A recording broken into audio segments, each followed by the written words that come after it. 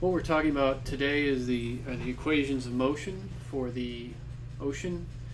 I'm not going to go derive it from uh, from a bare minimum. We're going to talk more in hand waving arguments.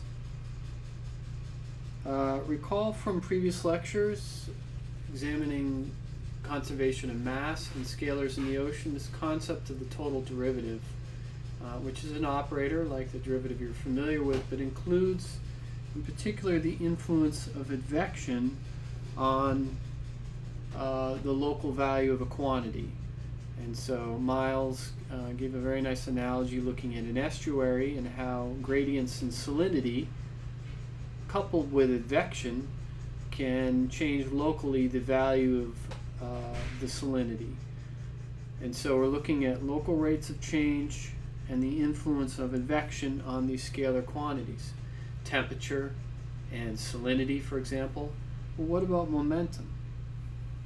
Well, momentum is a vector, but we can look at it in terms of three separate scalars in the three coordinate directions, x, y, and z. So we have u momentum in the x direction, y momentum in the y direction, and z momentum, I'm sorry, w momentum in the z direction. Conservation momentum. In the prior lecture, we looked at Newton's second law and first law.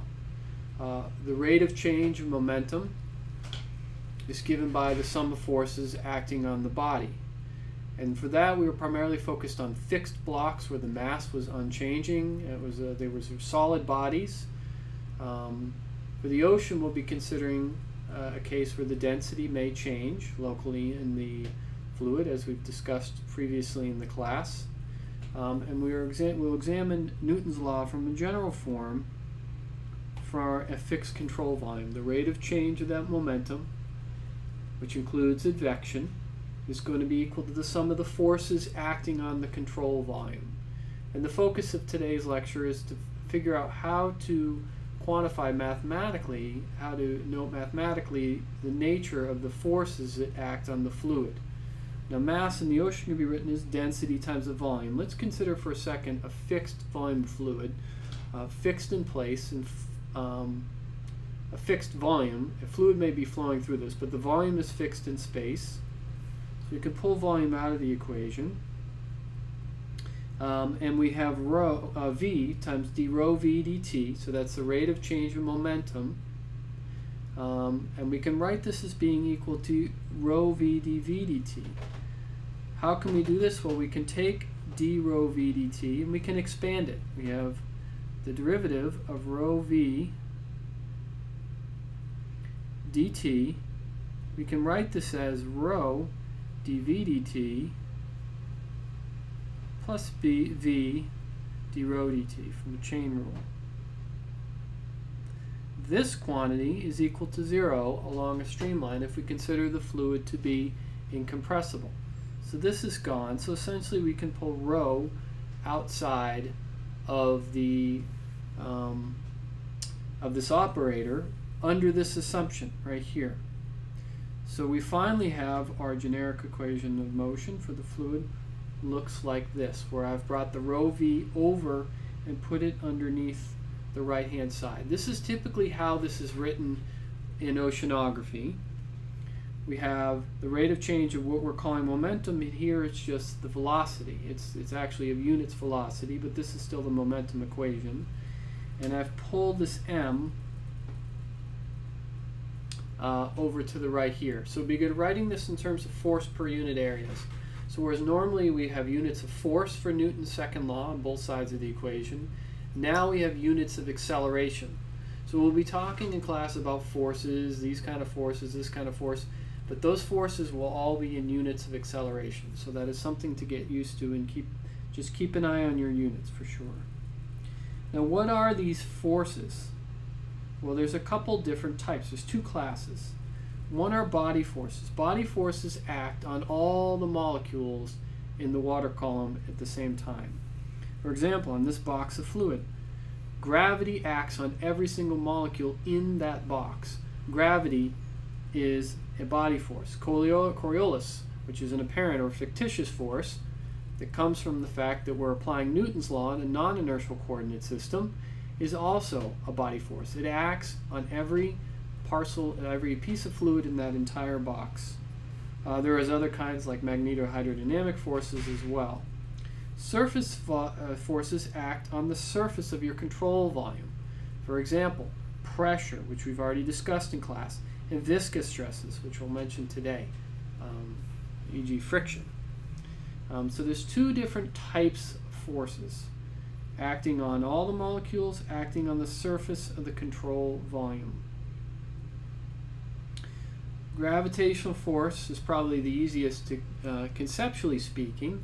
The force due to gravity is just simply mass times gravity, written in our fluid mechanical sense, it's rho vg. And if we want to write this as a force per unit mass, or here I've included the prime, which indicates we are using, these are specific forces. They are force per unit mass, so the units are acceleration. I divide it by the mass, or rho v, and I get simply g, which also has units of acceleration, and the, the value in the surface of the Earth is about 9.81 meters per second squared varies a little bit. That's the g that we're familiar with. The forces are vectors. Should this force affect the momentum in all the different coordinates? No, it will not. It will only affect the momentum in the vertical. It will only influence the vertical momentum of the fluid. So we must keep track of the fact that this is a vertical force. It is not a horizontal force in the coordinate system that we use. So strictly speaking, we would write as this, that our force per unit mass due to gravity is negative gk, where k is the unit vector which points up. It is the w direction unit vector, a z direction unit vector, a unit vector having no magnitude, only a direction, and that direction is up. Since the force gravity pulls down, you have a minus sign here. Later, when we assemble the entire momentum equations, you'll see this show up. We have momentum equations in U, V, and W, but this will only show up in the W momentum equation because it only acts in the vertical. What about pressure? We've talked a little bit about pressure in class, pressure being a force per unit area. It always acts normal to a surface. Pressure always acts orthogonally to a surface. If we have a cube, and we want to consider how does pressure influence the x direction of the flow? How can pressure, a, a difference in pressure, contribute to a change in the x momentum? Now remember, positive pressure implies a negative force when we consider dotting it with the outward unit normal vector. So in this case, we have on the left side of this cube, so we're basically saying this looking at this cube, we're looking at the pressure distribution on it and trying to decide how that pressure distribution might lead to motion to the left or to the right along the x-axis. So pressure on this top face here, because pressure only acts normal to the face, it can only push down on that face. On the bottom, it can only push up. On this face right here, it can only push into the board, and on the back face, it only out of the board. So only on the left and right faces can we have pressure contributions that lead to left and right motion. That's the nature of pressure. The pressure force on the left face is P times the face area. Remember, force is pressure times area, and pressure is force over area. This is the force on the left, and the force on the right. We're going to consider a situation where the pressure on the right is the same as the pressure on the left, plus a little bit. So the pressure on the right is P, which is the same pressure I put on the left, plus some delta P. So if we sum the forces in uh, sum the forces in x, the forces due to pressure in the x direction, we have a positive force on the left, trying to push the parcel to the left. We have a negative force on the right, where the pressure there is trying to push the parcel against the x coordinate in the negative x direction, so that is a negative force. And we have negative delta p, delta y, delta z. So the pressure cancels out. The fact that we have the same pressure here and here, those balance. So those are removed from the equation. The only thing that shows up pressure-wise is this difference in pressure between the right and left face, delta P. It can be negative, could be positive, it doesn't matter. But just implies there's a difference between the left and right face. Now, we want force per unit mass. So let's divide it by the mass of the cube, divide by rho v. The mass volume of the cube is delta x times delta y times delta z. It's the three side lengths. But remember we have as force, we had force times the area of the left and right face, and the area of the left and right face is delta y delta z. So we have a delta y delta z in the numerator, and therefore those cancel out. Boom, boom. We're left with minus 1 over rho delta p delta x. So how quickly, so this is what we call the pressure gradient, the pressure gradient. So pressure can lead to force, and that pressure force is proportional to the pressure gradient. Here's force per unit area is proportional to the pressure gradient. So the pressure is changing more rapidly. That is the same as a um, larger, that can lead to a larger pressure force. If the pressure is not changing at all, delta P over delta X is zero, and we have no force due to pressure. Now why the minus sign? Well, if the pressure is increasing with X, so let's say this is the X direction, and the pressure here is equal to P, and the pressure here is equal to some P plus delta P, a higher pressure, we have higher pressure on the right of the cube than on the left, and it's going to win out. It's going to push it backwards, meaning it move, the parcel will want to accelerate in the negative direction. Thus, we have a minus sign. If the partial p partial x is positive, the pressure is increasing with x, and it's going to tend to move it backwards. So we have a minus sign here. Will lead to a negative acceleration of the block. Now in vector form, the pressure we can do the other two directions, it's the same math, and we come up with these three terms. They all look the same. For x momentum, we have this term, which we just derived. For y momentum, this term, and for z momentum, this term. So for z momentum, for example, it only depends on the pressure gradient, how pressure is changing in z.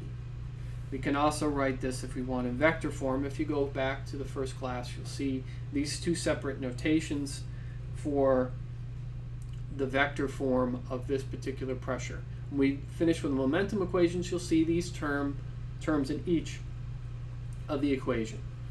So remember that minus sign. It's very important, otherwise you're going to get the flow going the wrong way.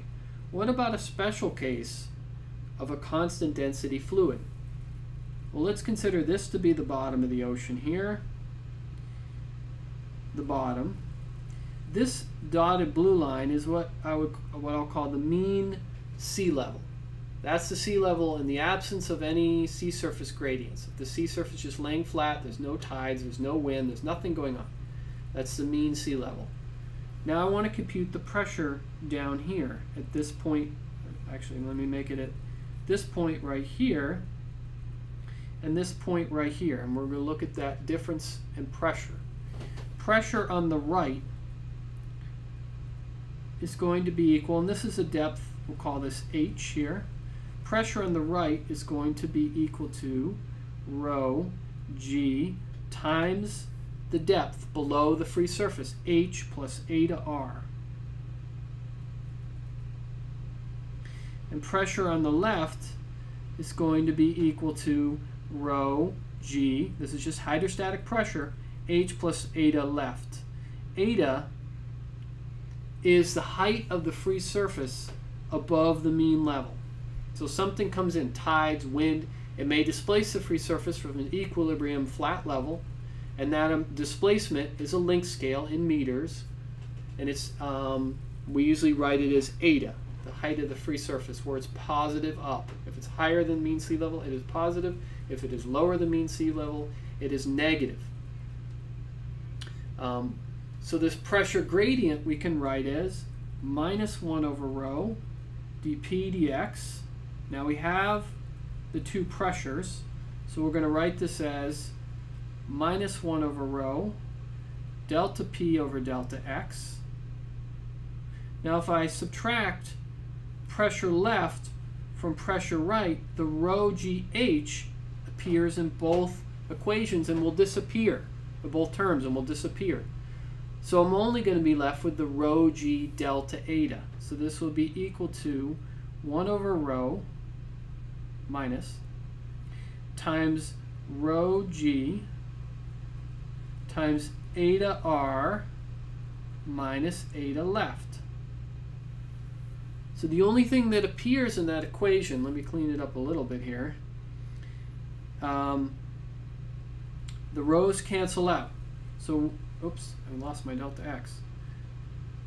So I have minus uh, g, remember the rhos canceled out, times the change in eta divided by the change in distance. So this is the average rate of change, and if we let x delta x go to zero, we get the instantaneous rate of change. We can write this as minus g partial eta partial x.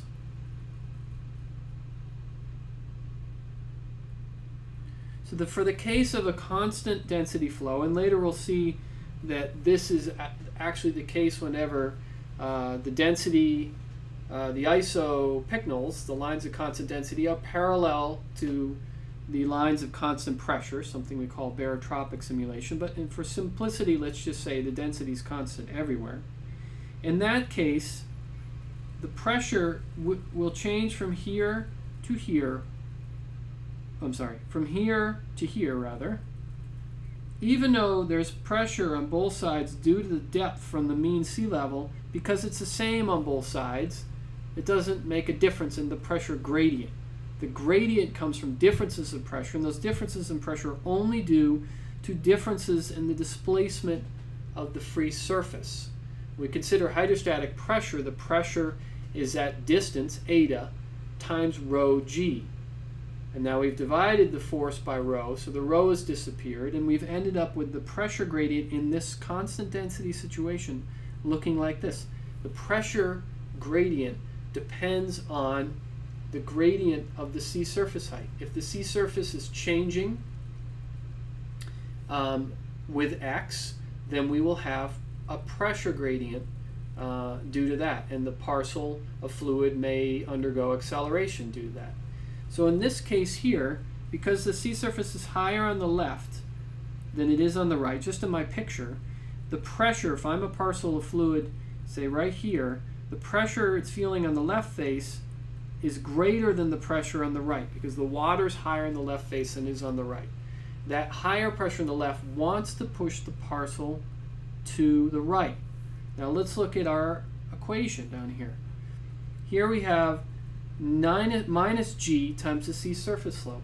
The sea surface slope, the sign of it, is also negative. It is decreasing with x. So partial eta partial x is less than 0. And there's a minus sign there. And you multiply those two signs together, you get a positive number. So the pressure gradient, the force associated with the sea surface slope, the pressure gradient, is positive. It will tend to accelerate this parcel of fluid in the positive x direction. So that's important to get a sense of what a slope, the direction that a sea surface slope tends to push a water parcel. Um, you can uh, keep that in mind, but, but, connect it back ultimately to the hydrostatic pressure field that's associated with that sea surface slope. We will return to this concept uh, at least twice more during the semester because it's very important. Coriolis. now, when discussing, um, we spent some time with Newton's second law and this idea of reference frames, and in the in-class problem, we studied the a funny example of trying to make observations from an accelerating movement uh, reference frame, in this case, an accelerating Zamboni. and we found that Newton's laws seemed to not work from that coordinate system. We were observing the hockey puck slowing down, um, even though no forces were active on the system. Now, the issue was we were doing Newton's laws from a non-inertial reference frame, an accelerating reference frame. And what we had to do is we had to modify Newton's laws to include um, the acceleration of our reference frame in there. And so the, Newton's law became that the, the second derivative, here x double dot, the second derivative of displacement of the hockey puck was given by the sum of forces on the hockey puck, which happened to be zero, um, minus the acceleration in the Zamboni. And this accounted for the acceleration of our reference frame, and thus the observations, even though they appeared strange, matched our modified Newton's laws. Now, in the video you would have watched before this, there is a short discussion of a rotating reference frame, the idea that that's also an accelerating non-internal inertial reference frame, and you see the students on a merry-go-round throwing balls to each other, and in a moment you're trying, trying to throw the ball to the person across from you, but because your reference frame is rotating, that ball tends to curve from your perspective, even though there are no forces acting on the ball. It's the same problem as the Zamboni. That's only because you're in a rotating non-inertial reference frame. The Earth is also a rotating non-inertial reference frame. So in order to use Newton's law in that, uh, as we know them, you have to add another apparent uh, force or fictitious force. There's several different ways of describing this. You have to add in a term to account for the rotation of the planet. Now the planet's not so simple as a merry-go-round because it's a sphere.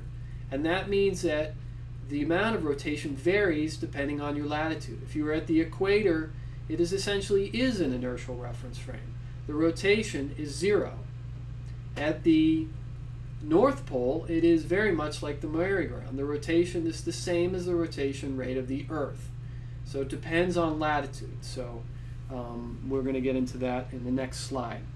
So you have to add, we're going to add in these apparent forces. These are only there because we're applying Newton's laws in our convenient reference frame, which is attached or stapled to the Earth.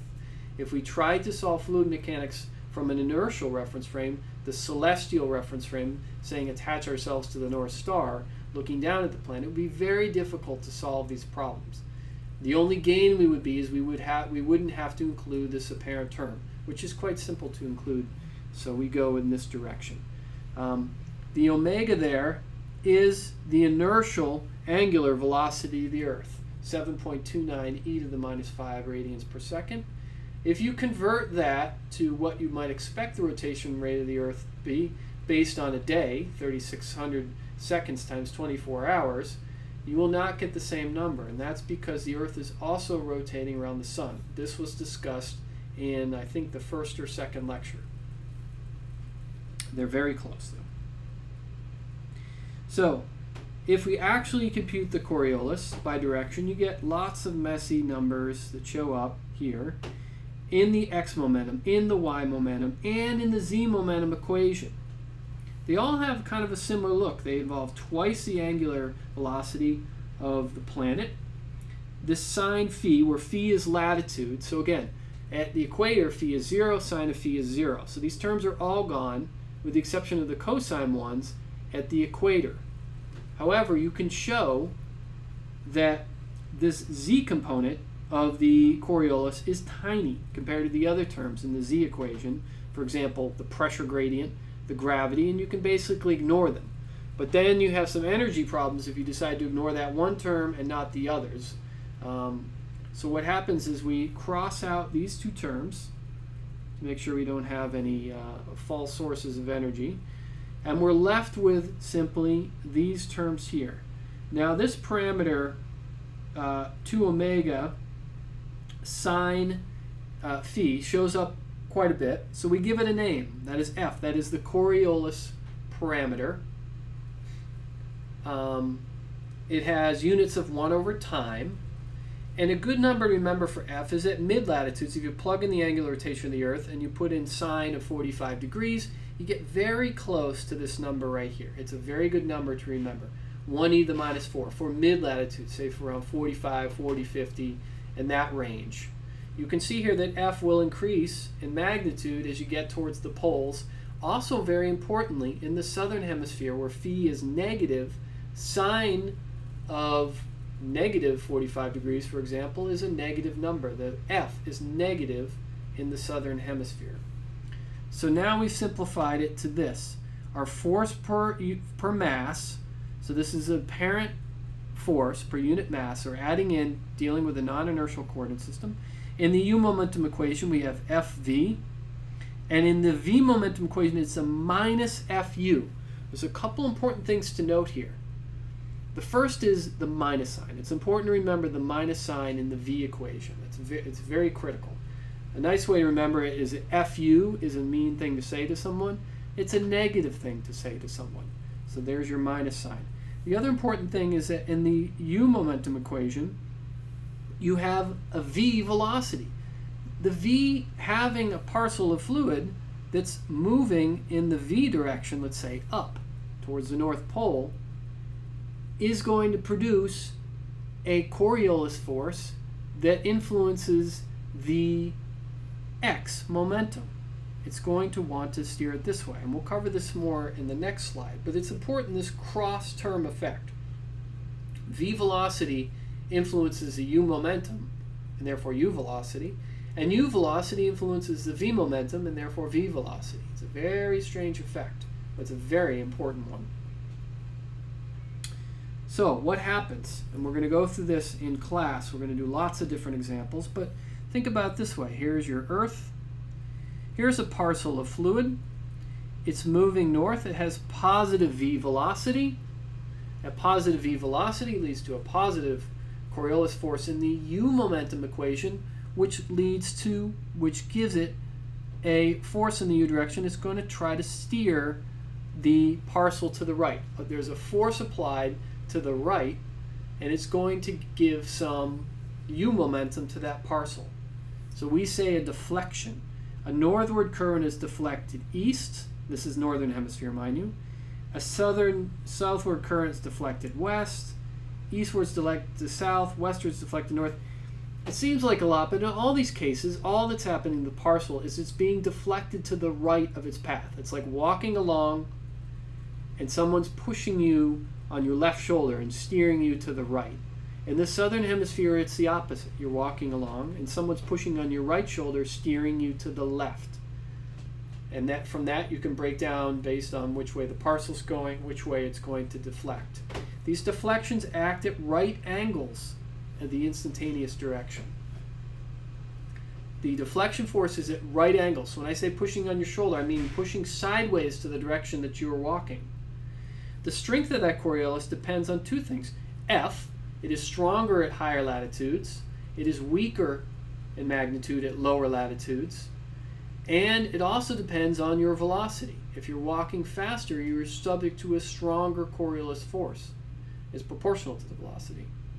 Um, it is latitude dependent, so it's zero at the equator. Remember this typical 1 e to the minus 4 um, units of per seconds at the mid latitudes.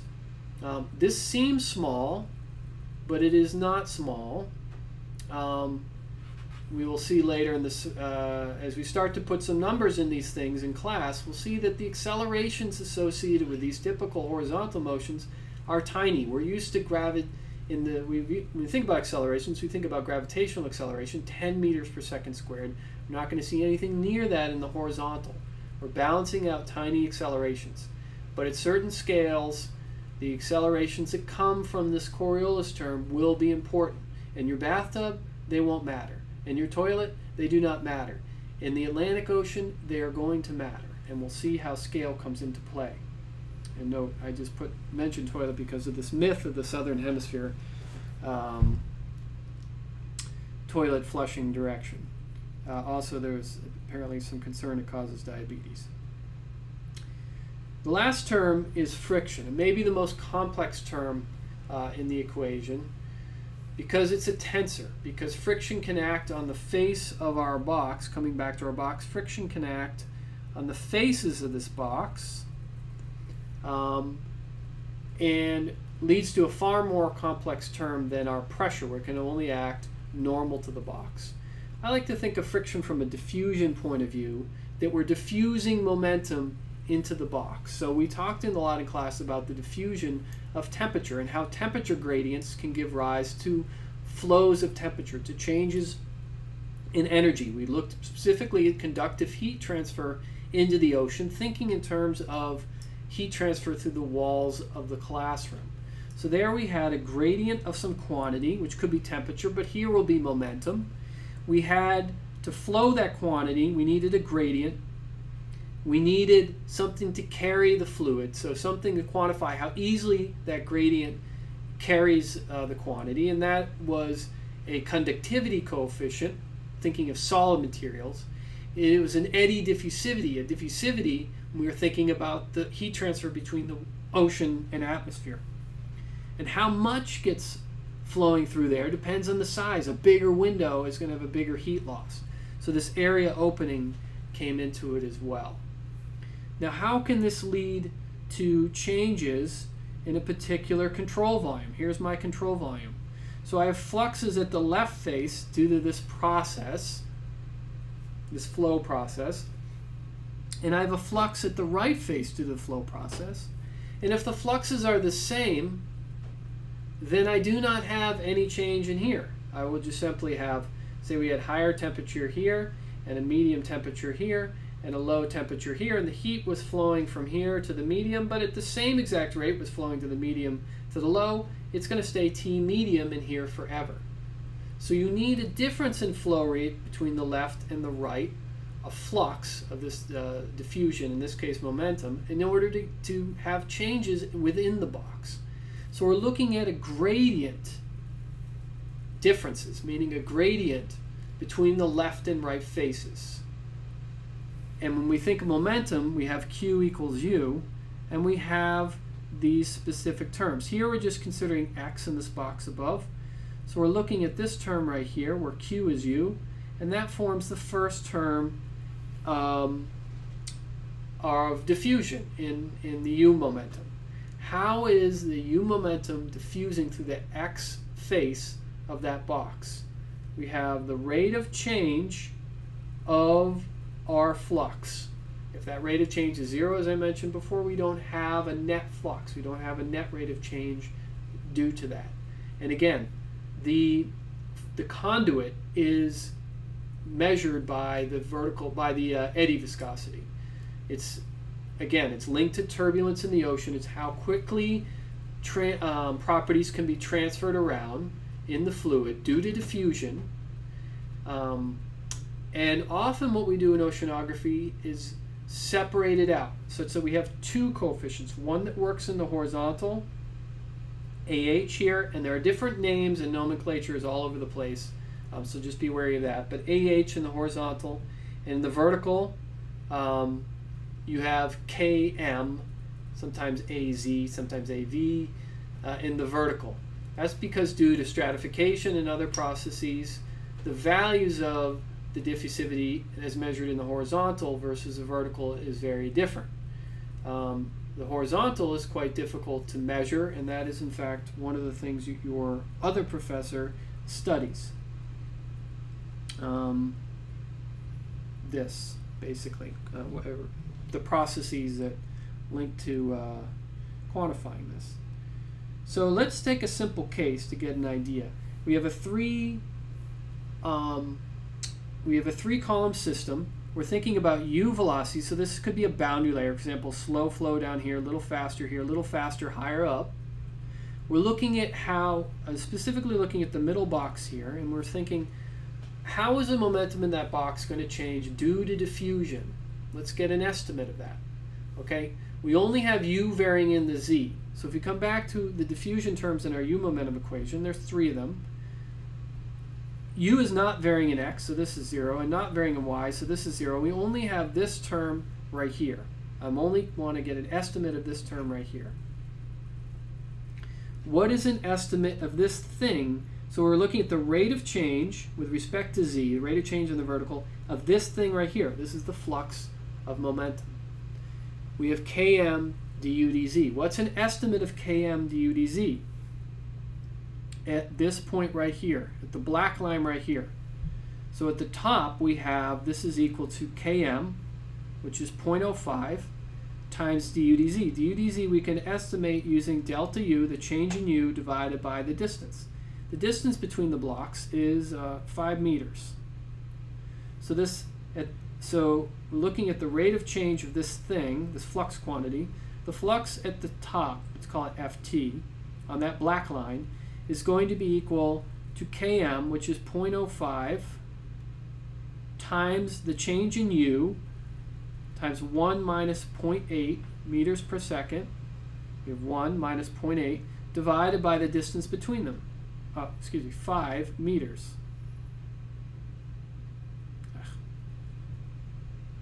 And at the bottom, along this face here, the flux at the bottom of that, of that cell, middle cell, is equal to Km, which I've assumed to be constant in the simple example, times the difference in U between here and here, 0.8 and 0.2, 0.8 minus 0.2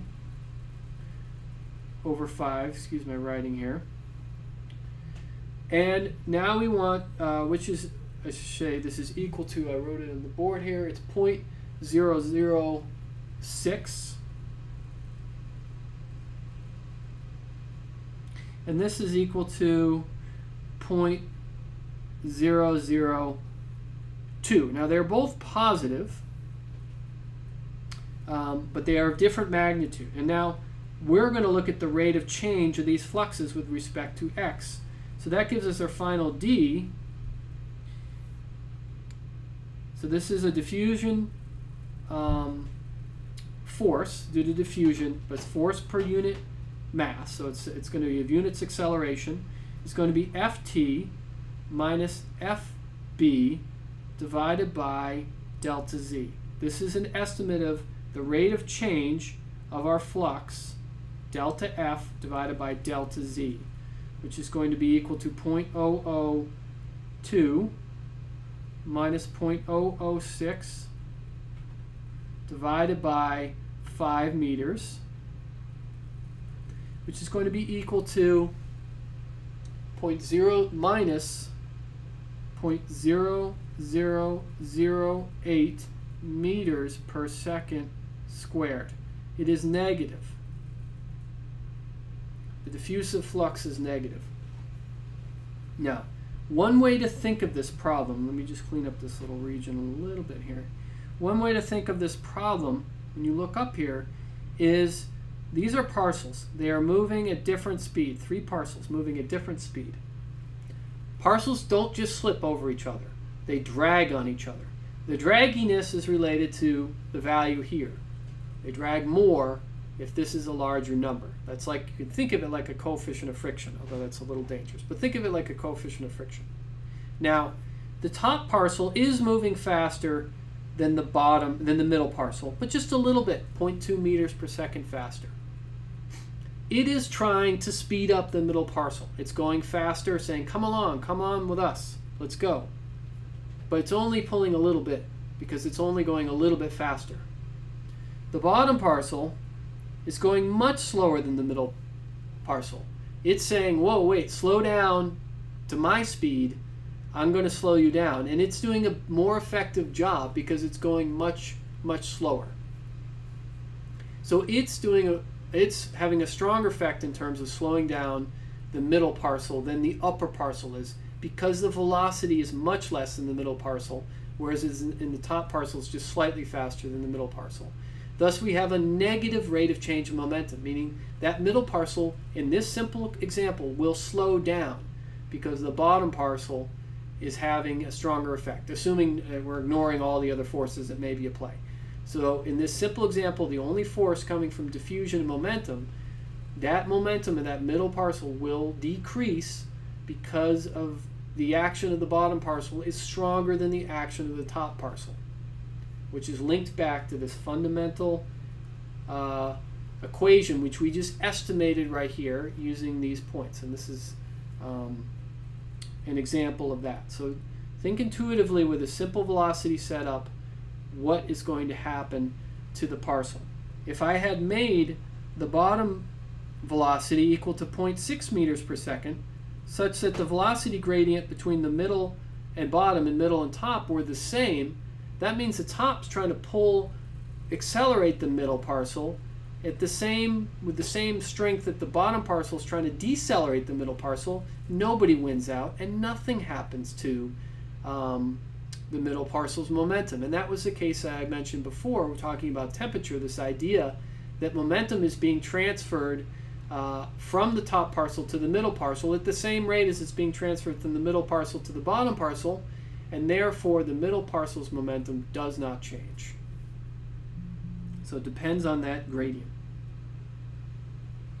Our final equations look something like this, and this, these are known as the incompressible Navier-Stokes equations. Miles talked about this. This is a conservation of mass term. These are the equations we essentially put together today.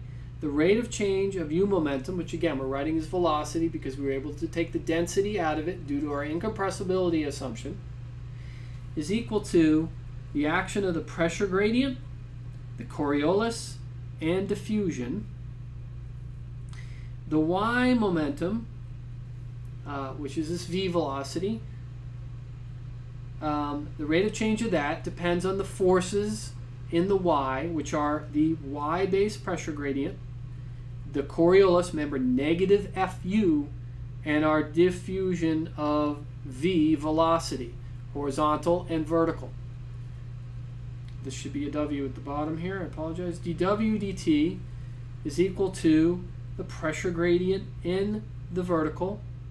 This no Coriolis because we've eliminated it from the vertical. It's too small to care about. But we do have an additional force that occurs in the, the effects of vertical momentum, gravity. Gravity is only a vertical force. It only shows up in this third equation. And then we have our diffusion of vertical um, momentum. Now, pressure's in there, but I don't have a prognostic equation for pressure. I don't have a time-varying equation for pressure.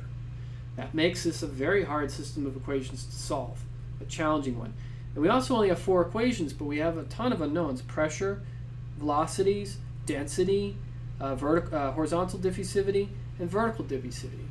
Now, if we actually wanted to solve these, we'd have to get at, we need more equations, basically. Um, we can get a density from the equation of state, but now we need a way of getting the T and S. We have our um, advection diffusion equations for temperature and salinity, which have advection, diffusion, and potentially source terms. Might have heating or cooling at the surface and we have salinity with advection and diffusion and um, sources of salinity, maybe precipitation or evaporation, uh, groundwater. Now we have S and T, which we have rho, and what we, what we don't have is a way of getting at our diffusivities, turbulent diffusivities. Those usually come from using a turbulence model. For example, the Mellor and Yamada uh, maybe the best known oceanographic turbulence model, estimates estimates based on slowly varying um, velocities, temperature, and salinity, the amount of turbulence that's occurring in the ocean, and uses that to determine what the turbulent diffusivity is. And that is a, a big field of study, this turbulence idea of turbulence and turbulence modeling.